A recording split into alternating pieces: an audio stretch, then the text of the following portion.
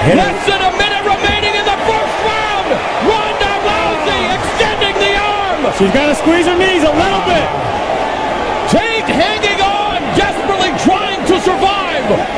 Oh, she's going to break it. Oh, wow. It's over. Rousey oh. has done it.